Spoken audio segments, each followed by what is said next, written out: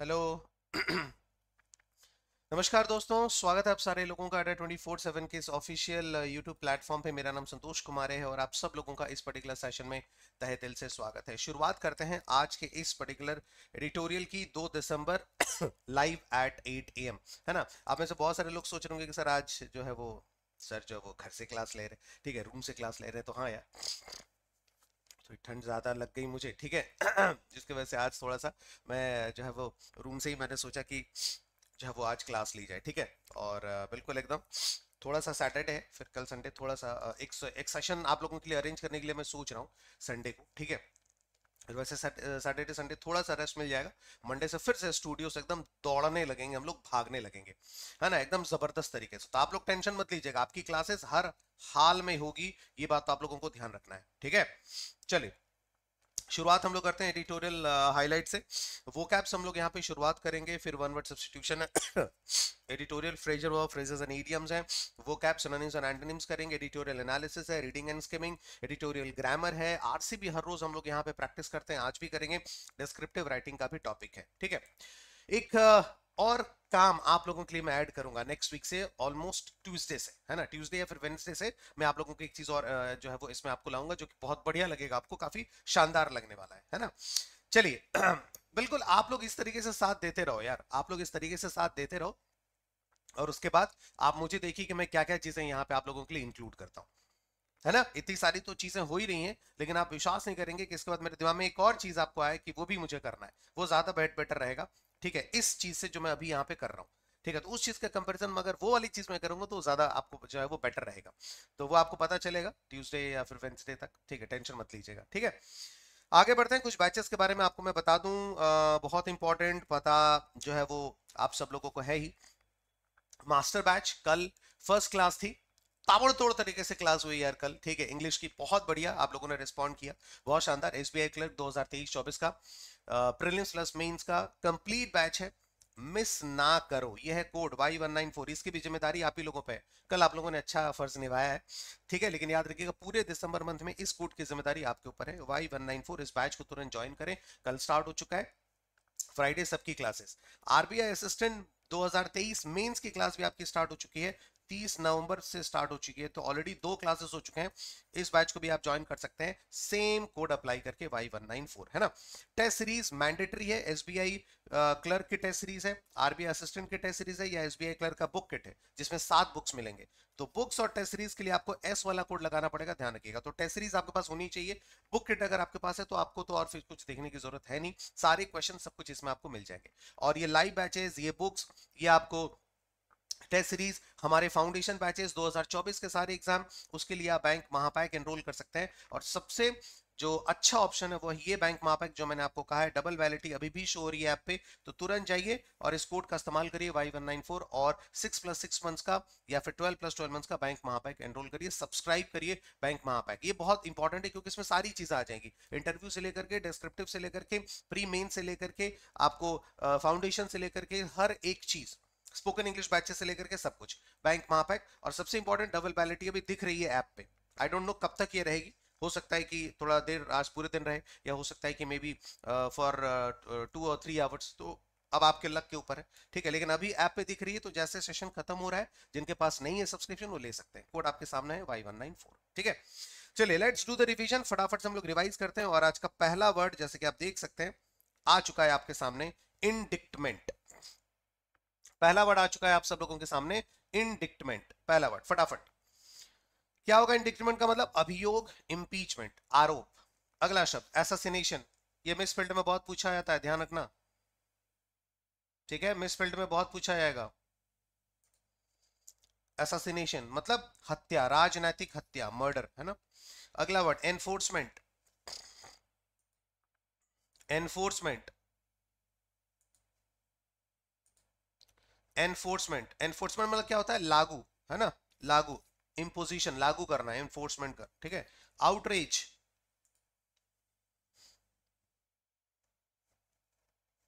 Outreach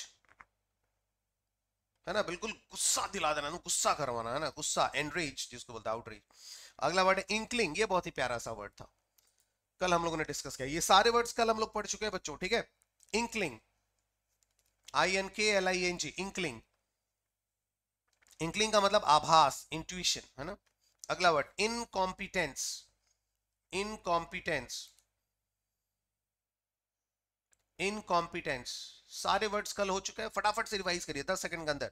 अयोग्यता inability आपको पता है कि संतोष सर शुरू के दस शुरू के जो पाँच मिनट हैं, ठीक है, वो लास्ट डे के प्रीवियस वर्ड्स को रिवाइज करवाते हैं। तो आप जब भी सुबह का आठ बजे का सेशन देखने आए ना तो आप आठ बजे मत ज्वाइन करो। आप सेवन फोर्टी फाइव पे ज्वाइन करो, लेकर के बैठ जाओ सेवन फोर्टी फाइव पे। और इन पंद्रह मिनट में आपको क्या करना है? लास्ट डे के जो ट्वेंटी वर्ड्स उनको फटाफट आपको रिवाइज करना है। ताकि मैं जब आऊँ, आपको रिवाइज करवाने तो आप दस सेकंड नहीं, बल्कि पाँच सेकंड में इसका आंसर दें। समझ में आ रही है बात? क्लियर थोड़ा आपको पेन लेना पड़ेगा, नहीं तो नहीं हो पाएगा। इनकॉम्पिटेंस हो गया, अगला वर्ड है रोग। आर ओ जी यू रोग। कैसा है ये रोग? वो वाला रोग नहीं है ये, है ना? तो आप टेंशन मत लीजिए, ठीक है? स्टूडियो से ही क्लास आपकी होगी, लेकिन थोड़ा कभी कभी ठंडा लग जाता है यार, है ना? तो एक दो दिन वो घर से हो जाती है चीज़ें तो टेंशन मत ले। स्टूडियो से ही क्लास होगी आपकी, है ना? रोग रोग का मतलब होता है दुष्ट, बहुत ही क्रूप बहुत ही विकेट, बहुत ही बदमाश। अगला word, hinge H I N G hinge. H I N G hinge. है ना? हिंज। हिंज का मतलब होता है निर्भर करना, डिपेंड करना, उसको बोल सकते हैं हिंज। अगला शब्द एक्स्ट्रा डाइट बहुत प्यारा वर्ड है। Extra diet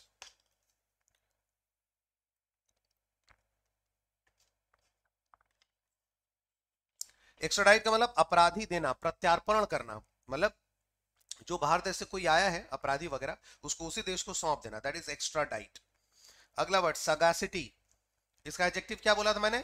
Sagacious S A G A C I O U S sagacious और ये सगैसिटी नाउन है ये। सगैसिटी का मतलब आपको क्या होगा? बुद्धिमत्ता विजडम है ना? विवेक। अगला वर्ड आउस्टेड आउस्टेड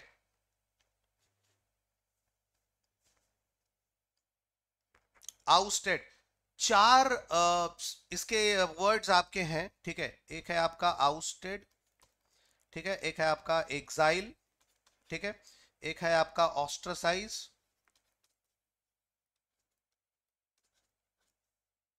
ठीक है? आउस्ट एक्साइल ऑस्ट्रसाइज और एक है एक्सपैट्रिएट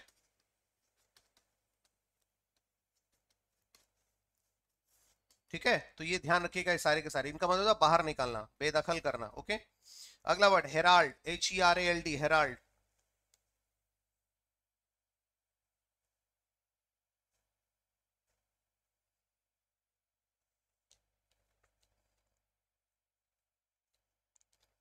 herald मतलब सूचना देना, ऐलान करना अनाउंस करना, सूचना देना, ठीक है? अगला वर्ड है परटेनिंग बहुत प्यारा वर्ड है pertaining P R T A I N pertain P R T I N pertain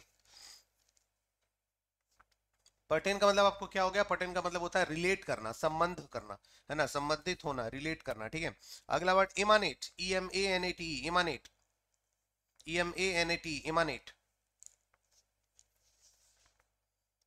E M A N A T E emanate ठीक है? इमानेट इमानेट का मतलब क्या होगा? उत्पन्न करना क्रिएट करना धीरे धीरे कहीं से कोई चीज़ उत्पन्न होना, पैदा होना। अगला वर्ड मिलिटेट अगला शब्द मिलिटेट मिलिटेट बहुत बढ़िया वर्ड है, बहुत शानदार वर्ड है मिलिटेट है ना? मिलिटेट का मतलब होता है विरोध कर रहे हैं आप, ठीक है? प्रोटेस्ट कर रहे हैं, विरोध कर रहे हैं प्रोटेस्ट कर रहे हैं। अगला वर्ड है मैग्नानिमिटी मैग्नानिमिटी मैग्नानिमिटी।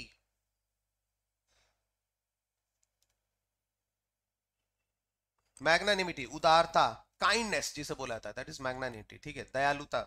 अगला वर्ड इनवेटरेट बहुत बहुत बढ़िया वर्ड है। एडजेक्टिव है ये इनवेटरेट इनवेटरेट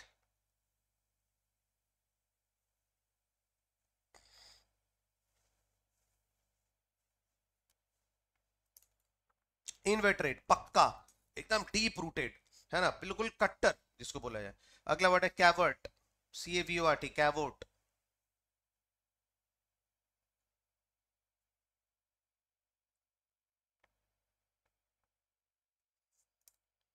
cavort का मतलब उछलना, कूदना, ठीक है? रॉम्प एकदम उछलना, कूदना रॉम्प है ना? अगला वर्ड बेनिजन नाउन है ये B N I S O N benison it is a noun B E N I S O N benison noun अच्छा बेनिजन की मीनिंग आपकी क्या होती है? आशीर्वाद। आशीर्वाद ब्लेसिंग्स उसको बोल सकते हैं बेनिजन अगला वर्ड है varmint V A R M I N T varmint V A R M I N T varmint V A R M I N T varmint varmint मतलब बिल्कुल एकदम शैतान बच्चा, एकदम अनॉय करने वाला बच्चा, बिल्कुल एकदम आपको तंग परेशान कर देने वाला स्पेशली कोई बच्चा। उसको बोलते हम लोग वर्मेंट है ना? शैतान बच्चा, एकदम नॉटी ठीक? तो ट्वेंटी डिवीज़न वर्ड्स जो हम लोगों ने कल पढ़े थे, वो खत्म हो गए, ठीक? अब हम लोग आगे बढ़ते हैं। वन वर्ड सब्सटीट्यूशन, अब आज का कार्यक्रम शुरू हो गया। और आज आपको पढ़ करके ऐसा लगेगा जैसे आप किसी अलग ही दुनिया में। बिल्कुल नए नए वर्ड्स हैं आज, ठीक है? One word substitution, secret and illegal religious meeting, याद रखिएगा। Secret and illegal religious meeting, धार्मिक, वो धार्मिक मीटिंग, ठीक है? धार्मिक किसी तरीके से संगठन ठीक है, जो सीक्रेट और इलीगल आपके मीटिंग्स होते हैं। तो रिलीजियस, सीक्रेट और इलीगल इलीगल रिलीजियस मीटिंग्स को हम लोग क्या बोलते हैं? इसको बोल सकते हैं कॉन्वेंटिकल। क्या बोलते हैं हम लोग? कॉन्वेंटिकल, याद रखिएगा, ठीक है? याद अगर मैं बोलूँ कि द पुलिस, ठीक है, arrested some Guru some महागुरुज who were involve in सम कॉन्वेंटिकल्स। इसका मतलब कुछ इलीगल और सीक्रेट रिलीजियस मीटिंग्स में वो लिप्त थे, ठीक है? अगला है a person sent on a mission to another country usually official एक ऐसा व्यक्ति जिसे मतलब विशेषता कोई दूसरे देश भेजा जाता है, ठीक है, ताकि वो अपने देश में कोई मैसेज वहाँ पे जाकर के दे सके ऑफिशियली जगह जाकर के दे सके। तो ऐसे व्यक्ति को हम लोग बोलते हैं एमिसरी ऐसे व्यक्ति को हम लोग क्या बोलते हैं? एमिसरी जिसे स्पेशली जो है वो भेजा जाता है। आप दूसरे कंट्री में ऑफिशियली भेजा जाता है, ताकि यहाँ पे कुछ ऑफिशियल मैसेज जो है वो आप वहाँ पे दे सकें, या जाकर के ऑफिशियली कुछ काम वहाँ पे कर सकें, उसको हम बोल सकते हैं एमिसरी ठीक है? ये आपके मिस फ़ील्ड में भी बहुत आता है। E double M I single S A R Y ऐसे दे देगा। E double M I double S A R Y ऐसे कुछ दे देगा। है ना? तो ध्यान रखिएगा। Dramatic performance with dumb show मतलब एक ऐसा ड्रामेटिक परफॉर्मेंस जिसमें आप सिर्फ़ और सिर्फ़ अपने बॉडी मूवमेंट से ही आप एक्ट करते हैं। आप बोलते नहीं है। जो मूक जो अभिनय होता है ना, बिना बोले सिर्फ़ बॉडी मूवमेंट से ही आप जो एक शो आपका होता है, मूक अभिनय, उसको हम लोग क्या बोलते हैं? मूक अभिनय को, उसको हम बोल सकते हैं पेंटो माइन क्या बोलते हैं? पेंटो माइन तो आज के तीन वर्ड्स हम लोगों ने यहाँ पे क्या क्या पढ़ लिए? आज के तीन वर्ड्स पहला हम लोगों ने पढ़ा है, यहाँ पे एक तो पढ़ा हमने पेंटोमाइन दूसरा हम लोगों ने पढ़ा आपका एमिसरी और तीसरा हम लोगों ने यहाँ पे क्या पढ़ा? कॉन्वेक्टिकल ठीक है? कॉन्वेंटिकल कॉन्वेंटिकल ठीक है? सो कॉन्वेंटिकल एमिसरी और उसके बाद पेंटोमाइन ठीक है? चलिए, अब हम आते हैं एडिटोरियल वो कैप पे। अब हम लोग आ जाते हैं। भाई, बहुत बढ़िया। शानदार। ठीक है? आप सब लोग बहुत ज़बरदस्त तरीके से साथ दे रहे हैं। वन थ्री टू सेवन अभी हम लोग लाइव हैं। है ना? लाइव है वन थ्री टू सेवन और वो अभी ही है। और आप लोग ने जो लाइक का प्यार बरसाया है, वो है आपका फोर हंड्रेड थर्टी फाइव है ना? तो प्लीज़ इसको जो है एक बार आप लोग फटाफट से सारे के सारे लोग लाइक वाइक सब लोग कर दें और शेयर वगैरह भी कर दें, जितने भी लोग हैं। ठीक है, मेरे भी टेलीग्राम ग्रुप्स में अलग अलग टेलीग्राम ग्रुप्स हो गया फेसबुक हो गया, आपका इंस्टा हो गया, इन सभी जगहों पे एक बार फटाफट से शेयर कर दें। और जितने भी नए बच्चे जुड़ रहे हैं ना, याद रखिएगा चैनल को सब्सक्राइब ज़रूर करिएगा यार। ठीक है, आपको याद है ना, मैंने बताया था कि आपकी ज़िम्मेदारी मेरी और मेरी ज़िम्मेदारी आपको उठाना है। सब्सक्राइब लाइव शेयर व्यूज़ इन सब की ज़िम्मेदारी दिसंबर मंथ में। संतोष सर के अलावा दिखने नहीं चाहिए कोई। ठीक है? बिल्कुल एकदम, आपका सपोर्ट ओके चलिए, शुरुआत करते हैं एडिटोरियल वो क्या फ़र्स्ट स्लाइड पहला वर्ड है फंडामेंटल है ना?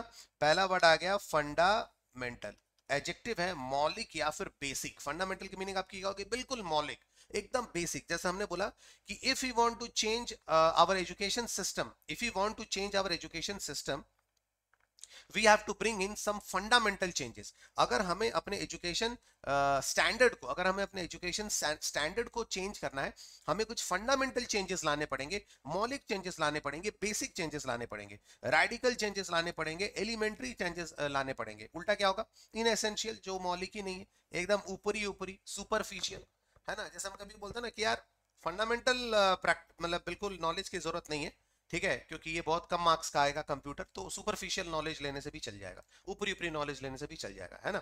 सो फंडामेंटल मौलिक बेसिक सनोनिम होगा रेडिकल एनेबिलिटी और इसका एंटोनिम होगा इन एसेंशियल या फिर सुपरफिशियल ठीक है?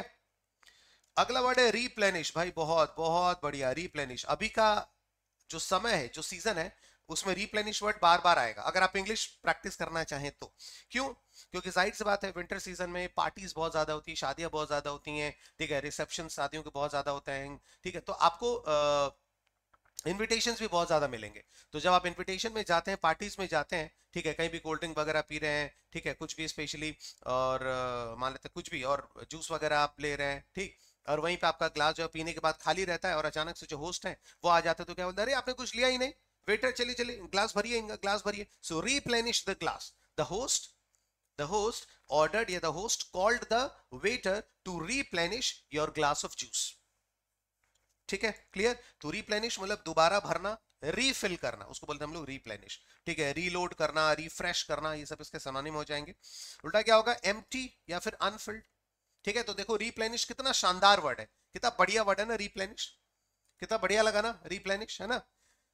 अगला वर्ड है ऑपरेशनलाइज अच्छा ऑपरेशनलाइज वर्ब है जिसका मतलब होता है संचालन करना फ़ंक्शन करना। है ना? जैसे कि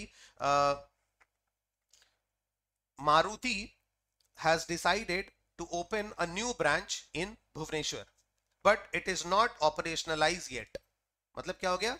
कि मारुति ने एक नया ब्रांच जो ऑफ़िस है, वो भुवनेश्वर में खोलने का ओपन करने का डिसाइड किया है but it is not operationalise yet है ना? मतलब अभी भी अभी तक ये ऑपरेशनलाइज नहीं है, संचालित नहीं है फ़ंक्शन नहीं कर रहा है। ठीक है? तो फंक्शनलाइज इंप्लीमेंट उल्टा क्या होगा? नॉन फंक्शनल इनएक्टिव जो इनएक्टिव है, जो एक्टिव है ही नहीं, उसको बोलेंगे क्या? इसका एंटीनिम हो जाएगा ऑपरेशनलाइज ठीक? अगला है steadfast steadfast adjective है दृढ़, एकदम डिटरमेंट स्टीड फास्ट मतलब जो मतलब देखो, इसके दो सेंस में इस्तेमाल हो सकते हैं। पहला इस सेंस में कि बहुत रिजोल्यूट है, बहुत डिटरमेंट है। है ना? जैसे कि हम बोल सकते हैं he so steadfast in his क्या बोल सकते हैं? इन हिज करियर अपॉर्चुनिटीज़ ठीक है? In he so steadfast in his in his career opportunities या फिर in his career choices that that he never fails in any project वो इतना डिटरमिंड है ना अपने करियर अपॉर्चुनिटीज़ uh, को लेकर के कि वो किसी भी प्रोजेक्ट में फेल नहीं होता। आप इस सेंस में बोल सकते हैं। You have to be steadfast if you want to crack SBI clerk examination और any government examination in first attempt you have to be very steadfast first आपको सबसे पहले बहुत दृढ़ संकल्प ही होना पड़ेगा क्योंकि प्रॉब्लम्स आएँगे मॉक में अच्छा नंबर नहीं आएगा। इधर उधर बहुत सारे लोग बहुत कुछ बातें करेंगे है ना? लेकिन आपको वहाँ पे अड़े रहना है आपको वहाँ पे भिड़े रहना है। आपको वहाँ पे दृढ़ संकल्प के साथ आगे बढ़ना है। So have to be steadfast ये आपका पहला यूज़ आ गया। स्ट्रीट फास्ट का जो दूसरा यूज़ आपको आता है, वो आपको ऐसे आता है कि आप बहुत मुश्किल से खुश होते हैं। So the principal is so steadfast that no student can easily please him जो प्रिंसिपल है, वो इतने स्ट्रीट फास्ट हैं, इतने मतलब क्या बोल सकते हैं, बहुत दृढ़ है मतलब है ना, इतने सीरियस रहते हैं, ठीक है क्योंकि कोई भी स्टूडेंट उन्हें आसानी से खुश नहीं कर सकता, उस वाले सेंस में भी आएगा। है ना कमिटेड स्टॉन्च बिल्कुल एकदम लॉयल जिसको बोलेंगे। उल्टा क्या होगा? इरेजोल्यूट हेजिडेंट जो हिचकिचा रहा है जो रेजोल्यूट डिटरमेंट है ही नहीं। ठीक है? तो फ़र्स्ट स्लाइड यहाँ पे हो गई। फटाफट से इसका क्या करना है? स्क्रीनशॉट आपको ले लेना है। आगे हम लोग बढ़ते हैं।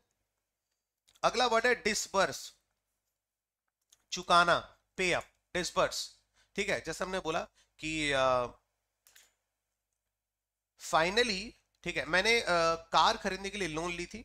एंड फाइनली दो साल के बाद मैंने सारा का सारा कर्ज जो है वो चुका दिया। ठीक है? जैसे हम क्या बोल सकते हैं यहाँ पे कि आ, दो तरीके से हो सकता है कि आई ठीक है I took a loan to purchase a car and after two years I disbursed all the amount सारे के सारे अमाउंट को मैंने दे दिया। ठीक है? पूरा पे अप कर दिया सारे के सारे अमाउंट को। डिसबर्स की दूसरी मीनिंग होती है बांटने वाले सेंस में।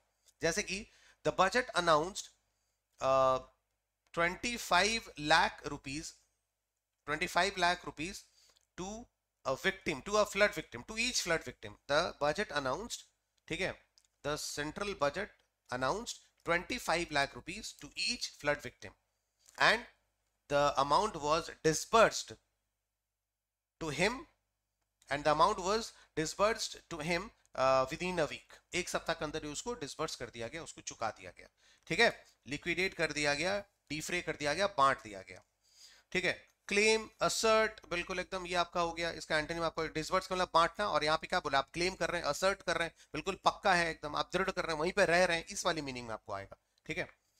अगला वर्ड है ऑप्टिमिज्म ऑप्टिमिज्म नाउन है आशावादिता या फिर होपफुलनेस ऑप्टिमिज्म बहुत बढ़िया वर्ड है यार।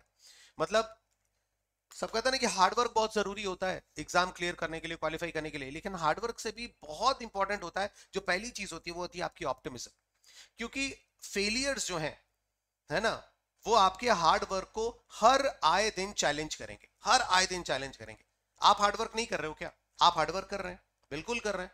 जो जो मुझे अभी आई कांटेक्ट मेरे से किए हुए हो ना, सबको मैं पूछ रहा हूँ, आप हार्डवर्क नहीं कर रहे हो क्या? ज़रूर कर रहे होगे, लेकिन जब भी आपका कम नंबर आते हैं, कम मार्क्स आते हैं एग्ज़ाम क्वालिफाई नहीं हो पाता है तो आपका वो हार्ड वर्क चैलेंज हो जाता है। है ना? चैलेंज होता है। उस समय क्या काम आता है उस समय काम आता है आपका ऑप्टिमिज्म और आपका स्टीट फास्टनेस कि अगर आप दृढ़ संकल्पी हैं तो चाहे जितनी बार भी फेल हो आप उठेंगे ज़रूर। अगर आप ऑप्टिमिस्टिक हैं तो चाहे जितने भी अंधकार आए, आप चलते रहेंगे हंड्रेड परसेंट क्योंकि आपको पता है कि at the end of the tunnel रोशनी मिलेगी एक ना एक दिन। ठीक है? रात के बाद जितनी भी देर रात हो, सवेरा आएगा ज़रूर। है ना?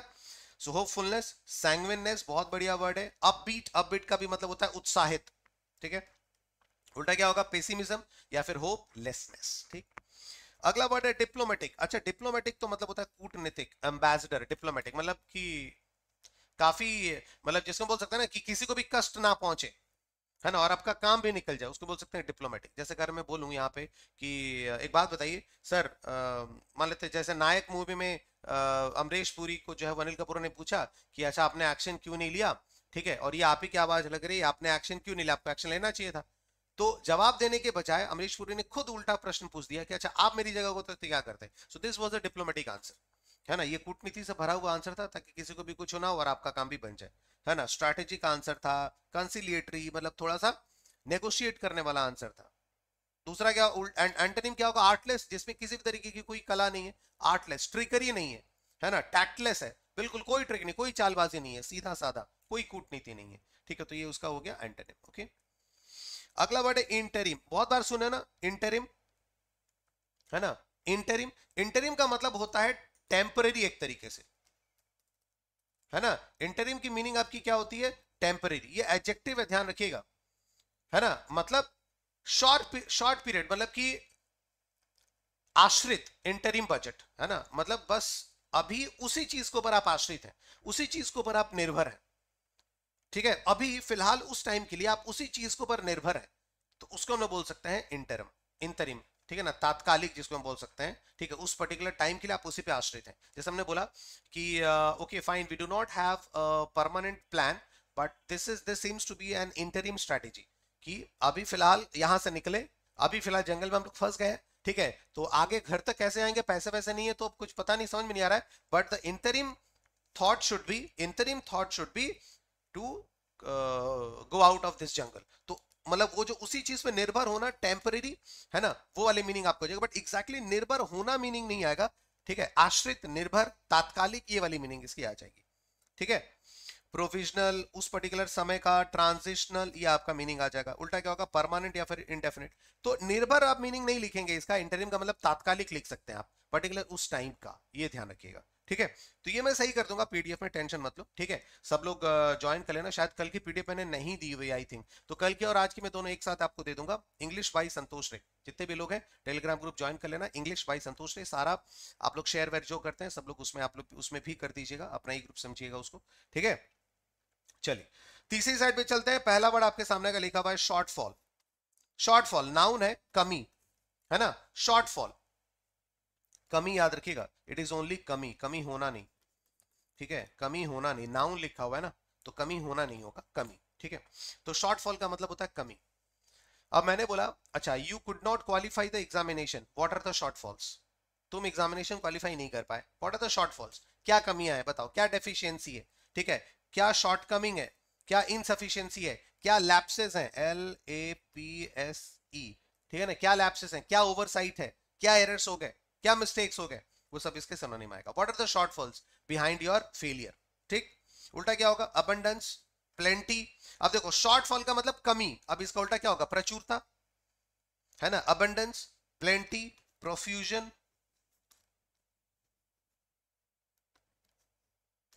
ठीक है? समझ में आया? क्लियर अगला है प्री मच्योर प्री मैच्योर मतलब समय पूर्व अर्ली प्री मच्योर है ना? जैसे हम क्या बोल सकते हैं कि sometime you find that a business collapsed premature ठीक है? मतलब sometimes you will find premature collapse of a business मतलब कि अभी वो सही तरीके से विकसित भी नहीं हुआ था और प्री मच्योर समय समय के पहले ही वो कोलैप्स हो गया, वो गिर गया अनरीजनेबल टाइमली बिल्कुल उसका वो समय नहीं था, समय के पहले ही। ठीक है? ओवर ड्यू अब उसका उल्टा क्या होगा? समय के पहले नहीं, जो लंबे देर से बाकी चल रहा है। और प्री में क्या हो गया? समय से पहले ही खत्म हो गया। ओवर ड्यू का मतलब बहुत दिनों से बाकी चला हुआ रहा है। जो डिलेड है, जो बिलेटेड है है ना? अगला है मोबिलाइज ये वर्ड याद रखना मोबिलाइज संगठित करना ऑर्गेनाइज करना मोबिलाइज मोबिलाइज का मतलब क्या होता है? आप अपने सारे रिसोर्सेज को वहाँ पे संगठित कर रहे हैं और वहाँ से काम में लगा रहे हैं। इसको बोलते हैं मोबिलाइज जैसे कि seeing the communal disharmony seeing the communal disharmony in the area the administration has mobilised 100 soldiers मतलब कम्युनल सांप्रदायिक अशांति को देखते हुए प्रशासन ने 100 सैनिकों को मोबिलाइज किया है ऑर्गेनाइज किया है, वहाँ पे संगठित किया है। ठीक है मार्शल किया है डिप्लॉय किया है मस्टर किया है M U S T E R muster किया है। बहुत ही बढ़िया वर्ड ठीक है? एकत्र करना, संगठित करना। उल्टा क्या होगा? हॉल्ट इमोबिलाइज आप संगठित करके वहाँ पे मार्शल उसको चैनलाइज उसको डिप्लॉय नहीं करवा रहे, काम नहीं करवा रहे, आप उसको रोक रखे हुए हॉल्ट करके रखे हुए इमोबिलाइज कर रहे हैं, ठीक है? अगला वर्ड है वॉलंटरी बहुत, बीच में बहुत आया था ना? Voluntary retirement voluntary retirement scheme VRS है ना? तो वॉलेंटरी का मतलब होता है स्वैच्छिक, आपकी इच्छा के ऊपर, ठीक है? जैसे हमने कभी कहा कि when you go to uh, when you purchase tickets when you purchase tickets in uh, in any stage when you purchase tickets uh, for any cricket match or for any movie uh, or for any show the seats are not voluntary. You have to the seats are not voluntary. Okay? Sorry the seats are voluntary. You have to choose of your own you have to choose the seats of your own choice. The seats are voluntary there. जो seats वगैरह होते हैं वो स्वैच्छिक होते हैं वो willing होते हैं। आप अपने हिसाब से अपने seats को आप जो, जो है वो चुन सकते हैं। आपने सोचा कोने वाले दो seats आप चुनेंगे तो आप चुन लो। कोई टेंशन नहीं। ठीक है? स्वैच्छिक विलिंग जिसको बोलेंगे। डिस्क्रेशनरी मतलब आपके ऊपर डिपेंड करता है ऑप्शनल आपकी इच्छा के ऊपर। ठीक है? और इसका एंटोनिम क्या होगा? जो मैंडेटरी है जो आवश्यक है जो करना ही होगा। आपकी इच्छा के ऊपर कुछ नहीं हो सकता। कंपलसरी है जो ऑब्लिगेटरी है एकदम करना ही करना है। ठीक है? जैसे फॉलोइंग द रूल्स ऑफ़ या to follow the rules of constitution is compulsory obligatory it is not voluntary done clear तीन स्लाइड यहाँ पे डन हो गए। ठीक है? चौथी स्लाइड पे हम लोग चलते हैं। ठीक है? चलिए, और चौथी स्लाइड पे चलते हैं। और ये ध्यान रखिएगा, आज सुबह 11 बजे का सेशन आप देख ही सकते होंगे। यहाँ पे 11 बजे का सेशन आपका लिखा हुआ है 11 बजे। और आज जो 30 क्वेश्चन हम लोग प्रैक्टिस करेंगे, याद रखिएगा। आज के 30 क्वेश्चन हम लोग प्रैक्टिस करेंगे और आज इस 30 क्वेश्चन में आपके क्लोज टेस्ट भी रहेंगे। आज के इस 30 क्वेश्चन में आपके क्लोज टेस्ट भी रहेंगे दोस्तों, ध्यान रखिएगा। तो आज थोड़ा सा आपको अलग तरीके का पेपर आपको दिखेगा, आज का ये वाला, ठीक है? और मंडे से हम लोग इसको थोड़ा सा जो है वो चेंज भी करने वाले हैं टेक्निक्स में, क्योंकि अब जो है वो समय नज़दीक आता हुआ रहा है तो हम लोग बहुत कुछ प्लान करके आपके लिए रखा है दोस्तों, बहुत कुछ। यहाँ पे जितने भी लोग अभी हमारे साथ लाइव हैं 1570 बच्चे हमारे साथ लाइव हैं अभी। 1570 पीपल आर लाइव हियर ठीक है? सारे के सारे लोग I want everybody in this particular session सुबह 45 day crash course mock day 8 में आप सब लोगों को यहाँ पे आना है और आज एक ज़बरदस्त सेट आप लोगों का इंतज़ार कर रहा है, जिसमें क्लोस्टेस भी आपको होगा, ये ध्यान रखिएगा। बहुत बढ़िया आज का पेपर है। क्लोस्टेस भी है और फिल इन द ब्लैंक्स में बहुत अच्छा पेपर है। मैं अभी डिस्क्लोज नहीं करूँगा। बहुत शानदार पेपर आप उस पेपर को ज़रूर अटेंड करिए। लाइव आना है सारे के सारे बच्चों को। ठीक है? बहुत बढ़िया। और चलिए, आगे बढ़ते हैं। स्लाइड नंबर फोर की तरफ़ हम लोग चलते हैं। And this is slide number four क्या लिखा हुआ है? ब्रूक अच्छा देखो, इसकी मीनिंग ध्यान से समझो। देखो, क्या लिखा हुआ है? अनुमति देना, है ना? इसके दो मीनिंग होते हैं। इसके दो मीनिंग होते हैं। पहली मीनिंग जो हम सब वाकिफ हैं, जिसका मतलब आपको होता है टॉलरेट है ना? बर्दाश्त करना। ठीक है? बर्दाश्त करना। टॉलरेट समझ में आ रही बात? पहली मीनिंग आपकी क्या होगी बर्दाश्त करना, जो अक्सर हम लोग इसकी मीनिंग को हम लोग यूज़ करते हैं। ठीक है?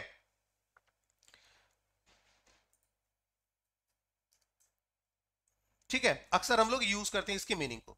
चलो। जैसे कि मैं तुमसे दूरी जो है ना, बर्दाश्त नहीं कर सकता। I can not brook distance from you है ना? शनिवार को क्या हो गया? भाई, कुछ हुआ नहीं है। एग्ज़ाम्पल देखो यार, ठीक है? तो एक गाना था ना, दूरी सही जाए ना, दूरी सही जाए ना। है ना? तो वो इंग्लिश आपकी क्या होगी? कि the this distance can not be proved इसको जो है, सहा नहीं जा सकता, बर्दाश्त नहीं किया सकता। There are still many families where brides brook the injustice the inhuman treatment by their in laws बहुत सारे फैमिलीज़ अभी भी हैं जहाँ पे जो बहुएँ हैं, वो अपने घर वालों के जो है अमानवीय अत्याचार को ब्रूक करती हैं, बर्दाश्त करती हैं, ठीक? ये एक मीनिंग आपके आ गया। ब्रूक का दूसरा यूज़ अनुमति देना या फिर अलाउ करना होता है, जैसे कि अब from now onwards from today onwards make sure जितनी भी लड़कियाँ यहाँ पे हैं, जितने भी स्पेशली लड़कियाँ, बच्चियाँ यहाँ पे हैं, ठीक है?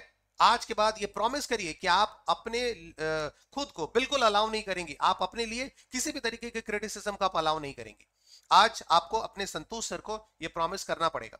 ठीक है? Today you you will promise that you will not brook any criticism against you आप अपने खिलाफ किसी भी तरीके का कोई क्रिटिसिज्म आप उसके लिए अलाउ नहीं करेंगे, अनुमति नहीं देंगी, उसको आप बर्दाश्त नहीं करेंगे। You can not allow you can not brook any kind of criticism समझ में आ रही है बात? गेटिंग माई पॉइंट अनुमति देना अलाउ करना टॉलरेट करना, ठीक है? परमिट हो जाएगा ऑथराइज हो जाएगा। उल्टा क्या होगा? फॉरबिट आप डिनाई कर रहे हैं। आप अलाउ नहीं कर रहे हैं, ठीक है? आप बर्दाश्त नहीं कर रहे हैं, ठीक है? आप सीधा एकदम डिनाई मान नहीं रहे हैं बट एकदम नहीं मान रहे आप, ठीक है? डिनाई कर रहे हैं दैट इज़ एंटनी अगला है पेडेंटिक अब इसकी मीनिंग ध्यान से समझो पेडेंटिक एडजेक्टिव है।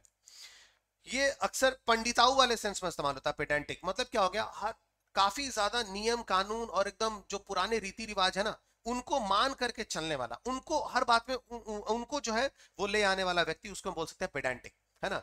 थोड़ा स्कॉलरली टाइप में भी इस्तेमाल होता है तो इसके बहुत अलग अलग मीनिंग है।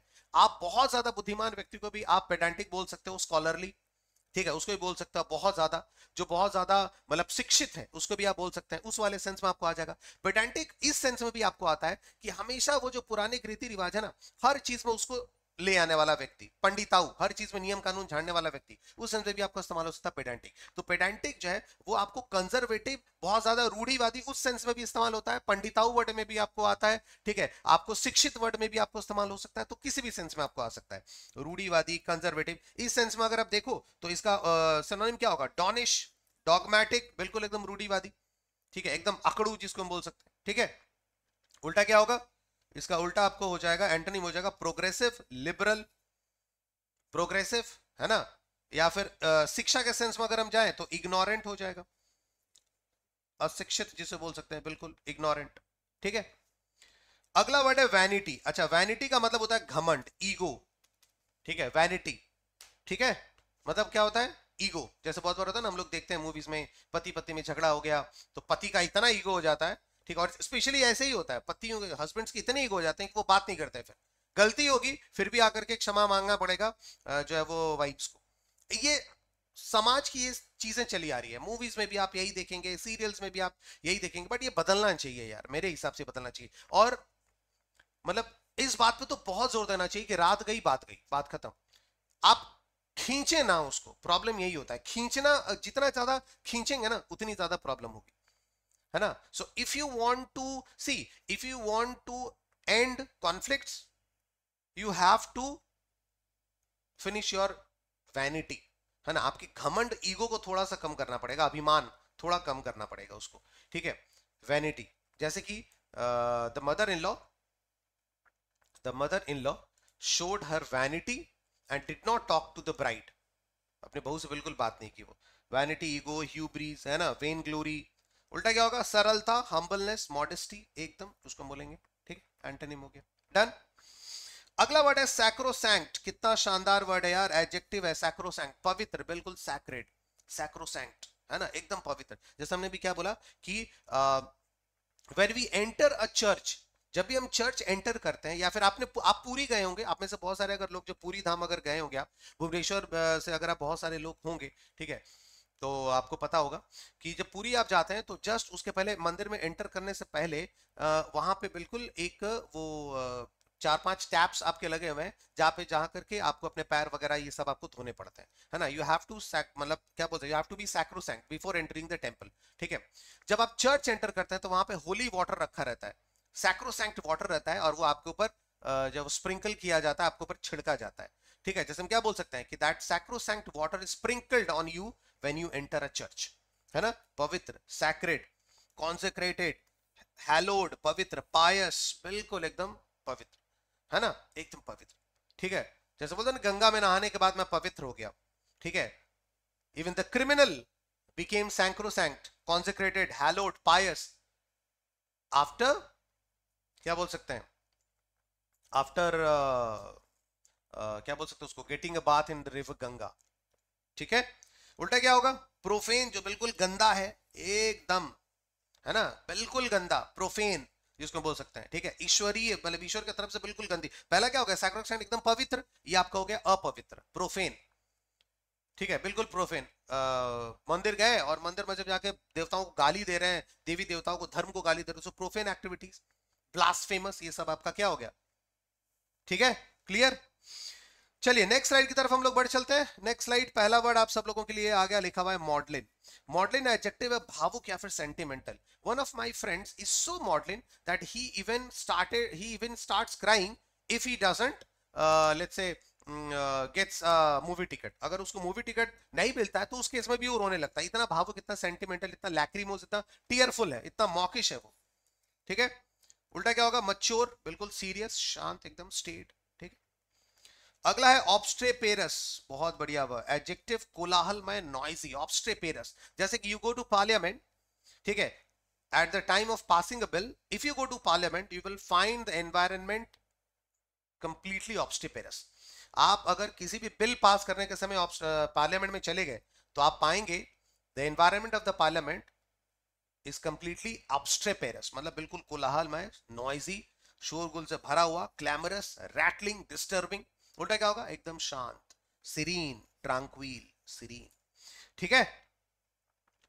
अगला है रिकैल्सिट्रेंट मतलब बिल्कुल अकड़ू एकदम अड़ियल स्टबन नहीं मतलब हटेंगे, जो हमने बोल दिया, वही बोल दिया। रिकैल्सिट्रेंट एटीट्यूड ठीक है ना? जैसे कि there are some employees there are some employees in the office who have recalcitrant attitude they even don't obey they even don't obey the words of the their manager वो अपने manager के words को भी follow नहीं करते। इतने recalcitrant attitude के हैं, इतने अड़ियल हैं, ठीक है? इतने अकड़ू हैं, इतने स्टबन हैं, इतने ऑब्स्टिनेट हैं, इतने म्यूटिनस हैं। ये म्यूटिनस वर्ड बहुत बढ़िया है, शानदार है, ध्यान रखिएगा। ठीक है? म्यूटिनस उल्टा क्या होगा? एंटोनिम डोसाइल कंप्लायंट कंप्लायंट मतलब जो आप फॉलो करते हैं। कंप्लायंट मतलब क्या हो गया? जो आप कंप्लाई कर रहे हैं फॉलो कर रहे हैं रूल्स को मान करके चल रहे हैं, ठीक है? और डोसाइल मतलब बहुत ही एकदम क्या बोल सकते हैं? क्या बोल सकते हैं यार? अनुयायी, शिष्य टाइप का, बहुत ही डोसाइल है ना? आसानी से आपको जो है वो समझाया जा सकता है, आप फॉलो कर रहे हैं, बहुत सहज इंसान है डोसाइल बहुत ही सरल, सीधे, ठीक है?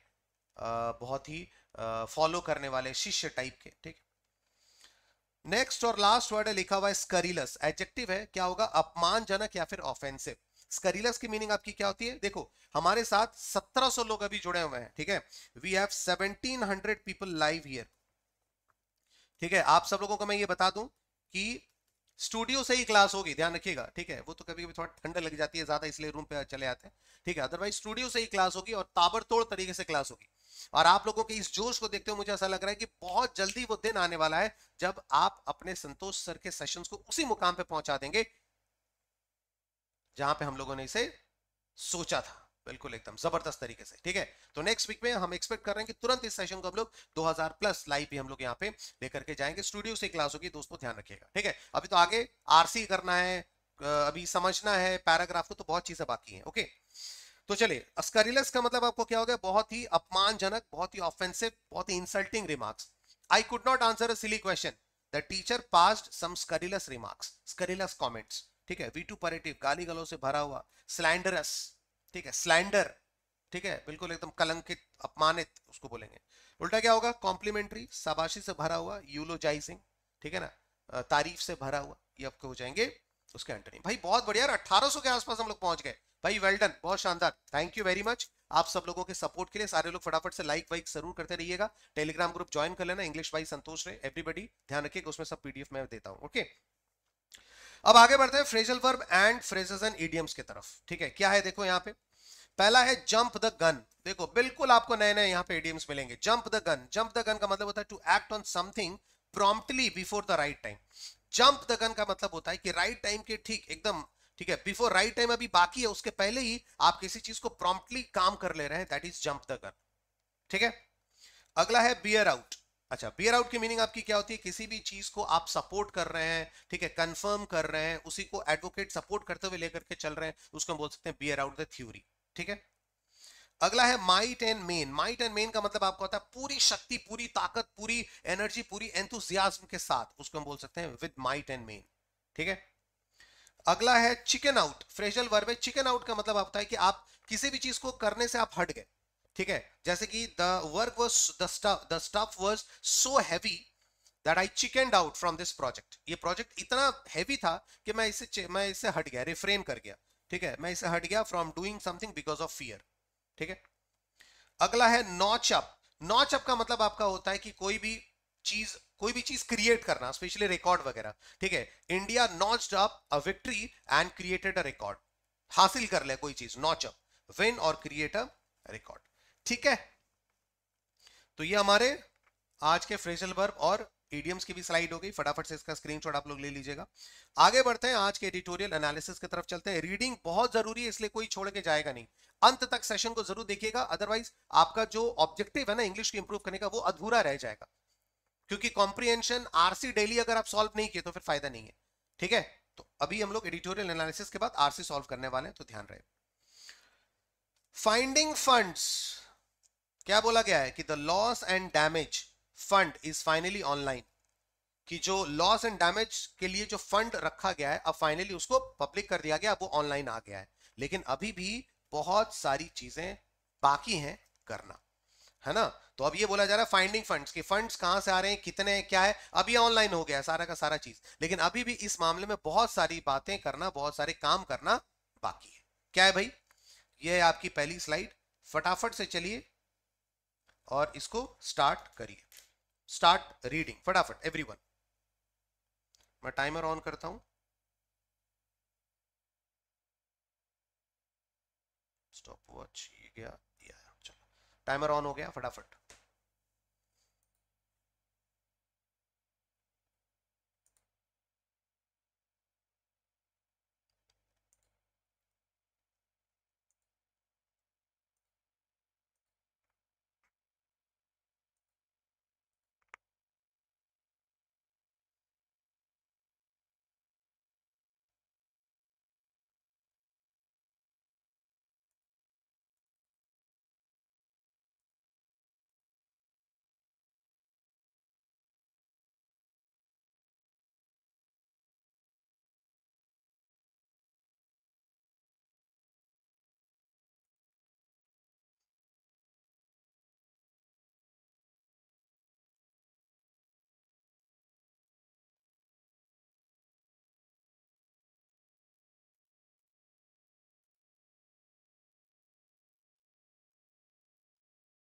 फटाफट बच्चों, पढ़ते रहो पढ़ते रहो।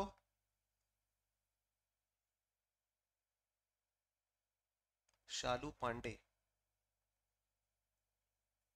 प्री हो जाना तो बेटा।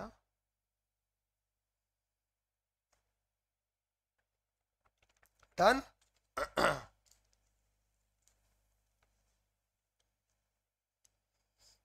डन देखो a healthy loss and damage fund ठीक है?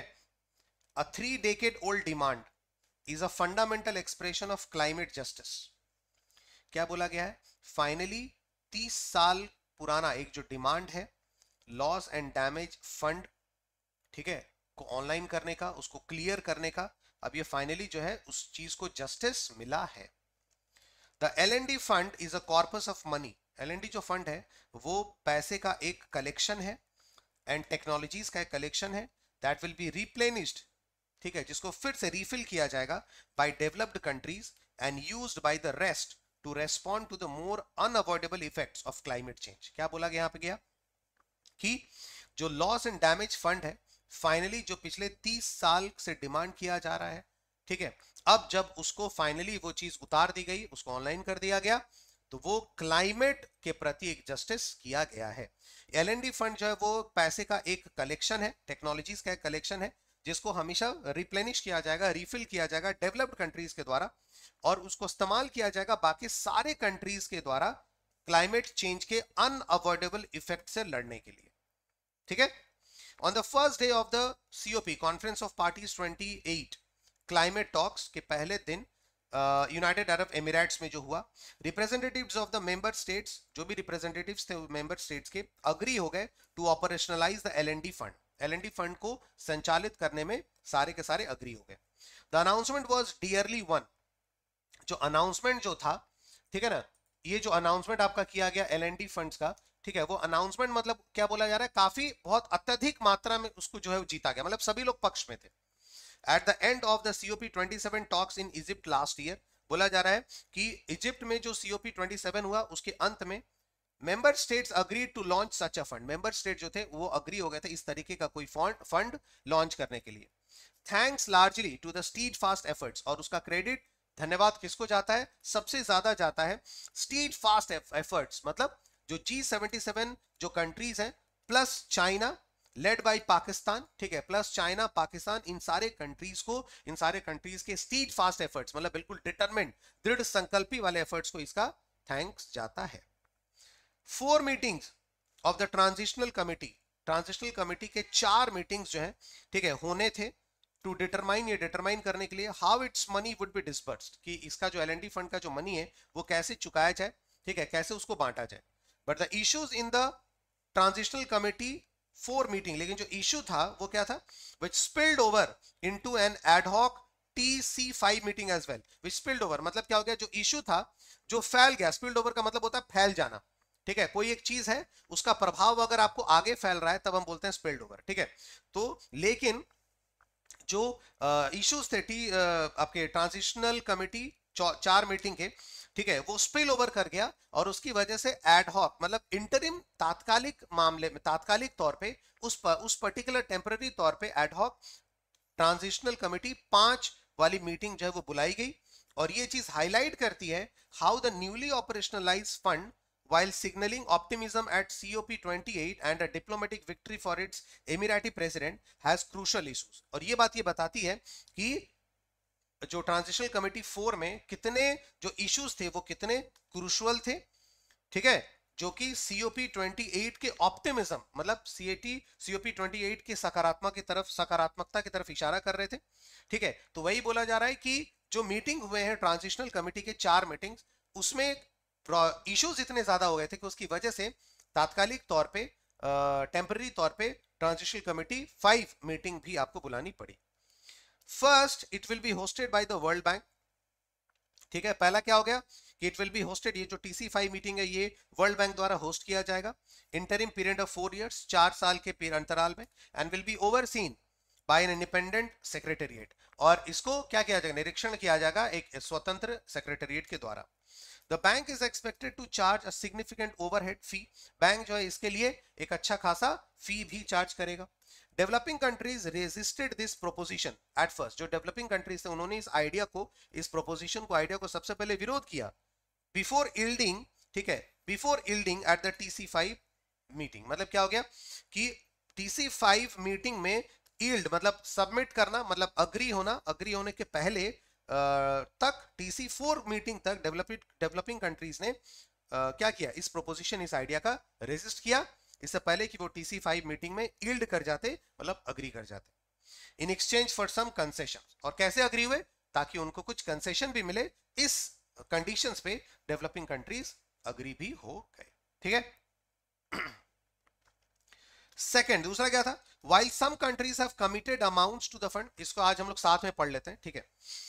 बोला जा रहा है सेकंड क्या है? कि कुछ countries have committed amounts to the fund कुछ कंट्रीज़ जो है, उन्होंने कहा है कि फंड में उनके कुछ कमिटेड अमाउंट्स भाई, इतना ही वो फंड में दे पाएँगे। From 10 million dollar by Japan Japan 10 million dollar से लेकर के 100 million each by Germany and the UAE UAE भी 100 डॉलर आपको देगा जर्मनी भी 100 डॉलर देगा। Whether they will be periodically replenished is not clear लेकिन क्या वो समय समय पे, है ना, कितने चार महीने के अंदर या फिर एक साल के अंदर उसको रिप्लेनिश करेंगे, फिर रिफिल करेंगे, ये क्लियर नहीं है। द कमिटेड अमाउंट जो ये कमिटेड अमाउंट बोला गया है आर नॉट ऑल्सो इनसफिशियंट ये भी इतने कम नहीं है. टोटलिंग 450 मिलियन डॉलर अभी अगर देखा जाए against an actual demand of several billion dollars कुछ सेवरल बिलियन डॉलर्स जो डिमांड uh, किया गया था ठीक है उसके अगेंस्ट में अभी 450 मिलियन डॉलर मिला जो कि इनसफिशियंट नहीं है. ठीक है लेकिन दिस शॉर्टफॉल ये जो कमी है even it is premature to deem it हालाँकि ये समय से बहुत पहला है, अगर हम इसको टू डी मतलब मानने के लिए समय से बहुत पहला है कि साढ़े चार सौ मिलियन अभी हुए जबकि हम बिलियन डॉलर्स को सोच रहे थे। Comes against the backdrop of developed countries. ये जो शॉर्टफॉल है, ये डेवलप्ड कंट्रीज़ के तरफ़ से जो आया है, जो अपने 2020 के डेडलाइन को वो जो है, वो मिस कर गए हैं, जो उन्होंने कहा था कि 100 बिलियन डॉलर वो क्लाइमेट फाइनेंस के लिए करेंगे और 89.6 बिलियन डॉलर वो डिलीवर करेंगे 2021 में ही कर देंगे। तो उनका जो प्रॉमिस है, वो प्रॉमिस से चुक है जिसकी वजह से ये जो शॉर्टकमिंग है, जो शॉर्टफॉल है, वो बढ़ता चला गया। नेक्स्ट क्या है? द कॉन्ट्रीब्यूशन आर वॉलेंट्री जो कॉन्ट्रीब्यूशन होंगे, है ना? वो भी वॉलेंट्री होंगे, वो स्वैच्छिक होंगे। ज़रूरी नहीं कि आप फंड करें, ठीक है? As every country has been invited to contribute हर एक कंट्री को कंट्रीब्यूट करने के लिए इनवाइट किया गया है, लेकिन जितना वो कर पाए उतना वो कर पाएँगे, ये स्वैच्छिक है। Finally the world bank will have to meet some conditions on managing the fund finally world bank जो है, कुछ कंडीशंस निर्धारित करेगा कि इस फंड को कैसे मैनेज करना है including a degree of transparency बिल्कुल ट्रांसपेरेंसी के साथ कि ऐसा नहीं कि सीक्रेट कर लिया, कुछ ही कंट्रीज़ को पता है, बाकी को पता नहीं, ऐसा नहीं होना चाहिए। Including a degree of transparency it has not broke so far ये बोला गया ना कि अब तक जो ट्रांसपेरेंसी इसने अलाउ नहीं की थी ब्रूक नहीं की थी, ठीक है? उस ट्रांसपेरेंसी के साथ जो है वर्ल्ड बैंक मैनेज करेगा, कैसे करेगा इस फंड को, इसके लिए कुछ कंडीशंस निर्धारित करेगा।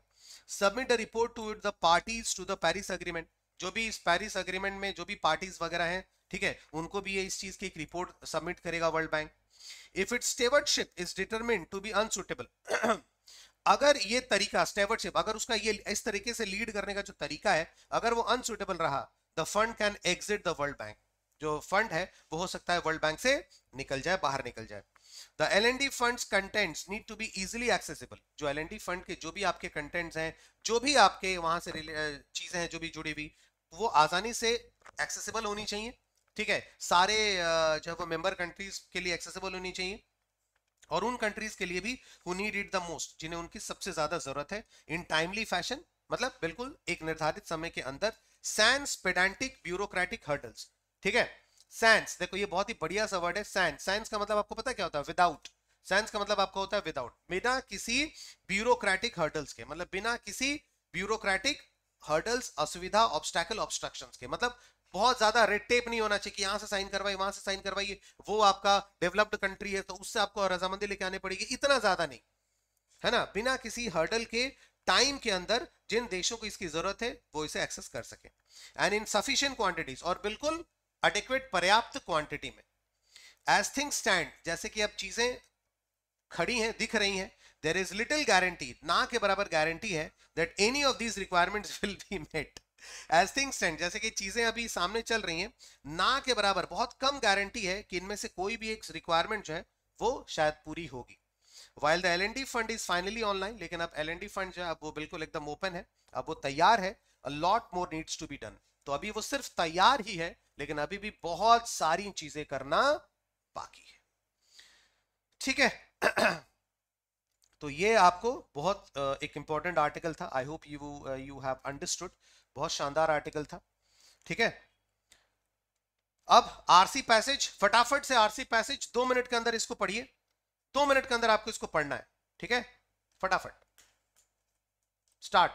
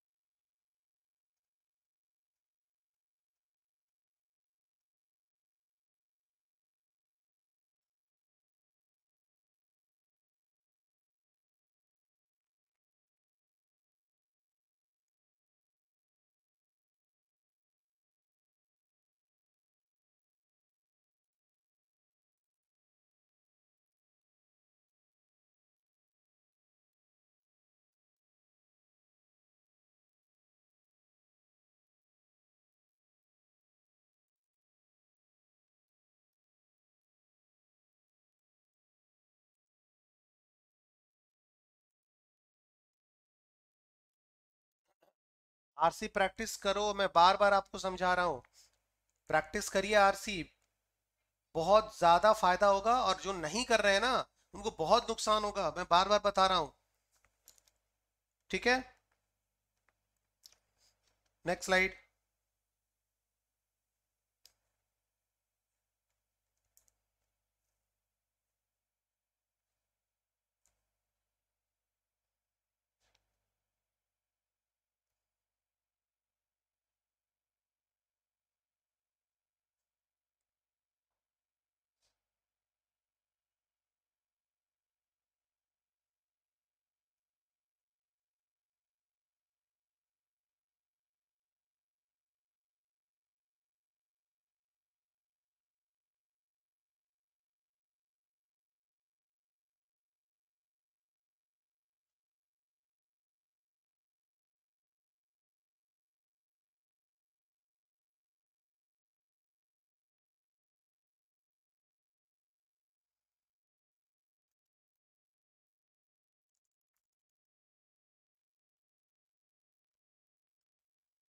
इतना आसान है यार, कतई आसान है ये।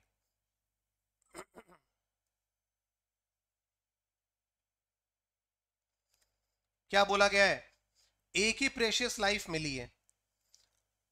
ठीक है, आप कैसे डिसाइड करेंगे कि आप अपने समय को बेस्ट तरीके से स्पेंड करें? प्रोडक्टिविटी गुरुज जो है वो आपको सजेस्ट करेंगे कि आप इफ़ेक्टिव बनिए एफिशिएंट मत बनिए। एफिशिएंसी का मतलब होता है ज़्यादा से ज़्यादा काम करना। इफ़ेक्टिव का मतलब होता है राइट right काम करना। पीटर ड्रकर, जो वेल नोन मैनेजमेंट कंसल्टेंट है, उन्होंने एक आइडिया बताया, क्या there is nothing so useless as doing efficiently that which should not be done at all बोला जा रहा है कि कि जिस काम को बिल्कुल ही नहीं करना चाहिए, उस काम को अगर आप एफिशिएंटली कर रहे हैं, उससे फालतू यूजलेस चीज़ और कुछ नहीं दुनिया में। इन अदर वर्ड प्रोग्रेस जो कर, ये सिर्फ़ और सिर्फ़ प्रोडक्ट प्रोग्रेस करने का मतलब प्रोडक्टिव नहीं होता। It's about being productive on the right things ठीक है? प्रोग्रेस का मतलब होता है सही चीज़ों पे प्रोडक्टिव आप हैं। लेकिन आप कैसे डिसाइड करेंगे कि राइट चीज़ें क्या है? One of the most trusted approach क्या है? Which is more commonly known as the 80-20 rule 80-20 rule बताता है कि किसी भी पर्टिकुलर क्षेत्र में 80 परसेंट जो नतीजे होते हैं, ठीक है? Come from 20 percent of causes ठीक है ना? 80 परसेंट जो नतीजे होते हैं, वो 20 परसेंट कारण की वजह से आते हैं। जैसे 80 percent of the land in Italy is owned by 20 percent of the people बोला क्या जा रहा है कि जितने भी वहाँ लोग हैं, उनमें से 20 परसेंट लोगों ने इटली का 80 परसेंट लैंड किया हुआ है। पचहत्तर percent of NBA championship are won by twenty percent of the team ठीक है? क्या बोला गया है कि पचहत्तर परसेंट एनबीए चैंपियनशिप बीस परसेंट टीम द्वारा जीती गई है। The number doesn't have to be add up to hundred ये नंबर जो है वो सौ तक ज़रूरी नहीं की जाए। The point is that the majority of result जो है वो माइनॉरिटी ऑफ़ कॉजेस से आता है। मतलब बहुत कम लोग जो है वो बहुत बड़ा रिज़ल्ट दे दे रहे हैं। जब यही आप अपने लाइफ एंड वर्क के ऊपर अप्लाई करते हैं तो 80-20 रूल जो है, वो आपको मदद कर सकता है कि आप सेपरेट चीज़ों को अनइंपॉर्टेंट चीज़ों से अलग कर सकते हैं। जैसे बिज़नेस ओनर जो है, वो अपने रेवेन्यू को डिस्कवर कर सकते हैं कि किन किन इंपॉर्टेंट क्लाइंट से उनके मेजर रेवेन्यूज आ रहे हैं।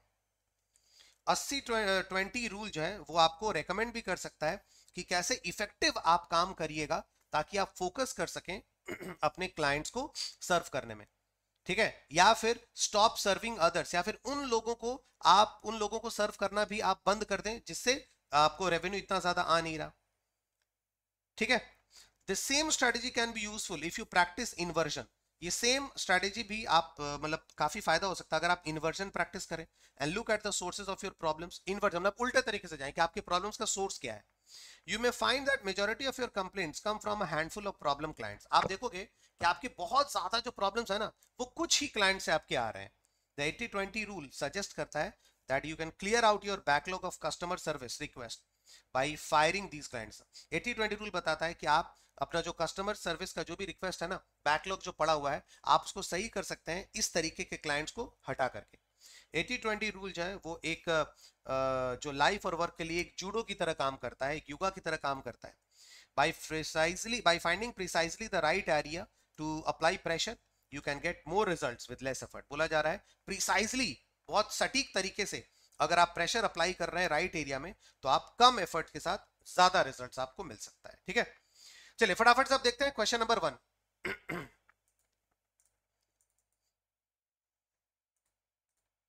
फटाफट।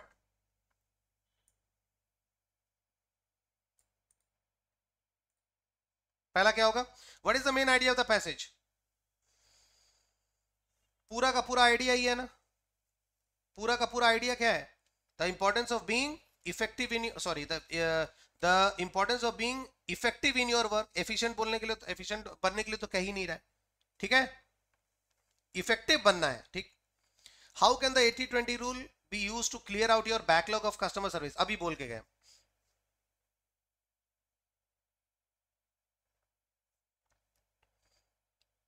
तुरंत एकदम, अभी एकदम डायरेक्ट लिखा हुआ है। कैसे?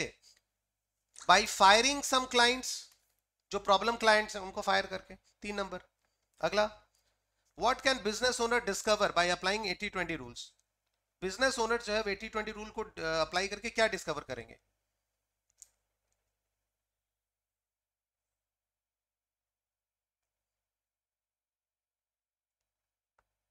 80-20 रूल्स मतलब बहुत छोटे client small portion of client से उनको मेजोरिटी ऑफ़ द रेवेन्यू जो है वो उनका आ रहा है। तो आंसर क्या होगा? ऑप्शन नंबर टू 80-20 रूल याद रखना।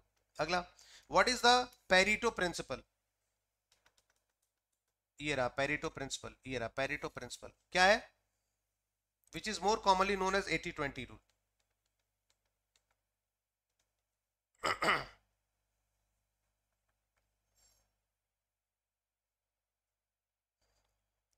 क्या है कि कुछ ही चीज़ें मिल करके मेजोरिटी ऑफ़ द रिज़ल्ट आपकी देती हैं, एक पर्टिकुलर एरिया में। यही एटी ट्वेंटी रूल ठीक है?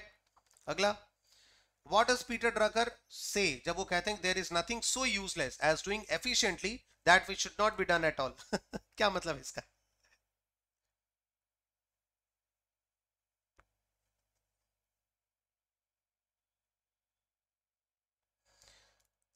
आप उस काम को बहुत एफिशिएंटली कर रहे हैं, जिसको बिल्कुल नहीं करना चाहिए, इससे अच्छा है कि आप कुछ भी ना करो। It's better to do nothing answer क्या है ऑप्शन नंबर थ्री अगला how can the eighty twenty rule apply to your life and work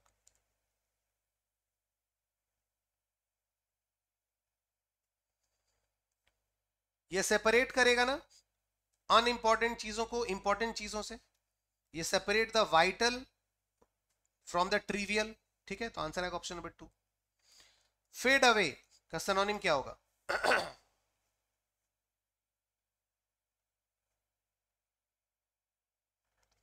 fade away का मतलब होता है धीरे धीरे डिसअपियर होना। धीरे धीरे धीरे धीरे गायब होता जाना। ठीक है? धीरे धीरे धीरे धीरे धीरे खत्म होना, वापस चला जाना। तो रिसीड आंसर इसका होगा। R E C D E ठीक है? ये आपके आंसर्स मैच कर लीजिएगा। डिस्क्रिप्टिव टॉपिक आप यहाँ से फटाफट से एक बार आप ले लें। क्या है भैया descriptive topic write a letter to the superintendent of police raising the concern over the increased cases of theft near ATMs. ATMs के आसपास बहुत चोरियाँ हो रही हैं ठीक है उसके ऊपर चिंता व्यक्त करते हुए पुलिस सुपरिंटेंडेंट को आपको एक लेटर लिखना है ठीक है बस खत्म करते हैं ये है मास्टर्स बैच, ज़रूर ज्वाइन कर लेना अगर एस आपका टारगेट है तो। ठीक है, बहुत कम प्राइस है प्री प्लस मेंस का कंप्लीट बैच है कोड आपके सामने, ध्यान रखिएगा। आरबी असिस्टेंट मेंस का बैच सेम कोड यहाँ पे भी रिफ्लेक्ट हो रहा है, फटाफट से इसको आप लोग सब ज्वाइन कर लें।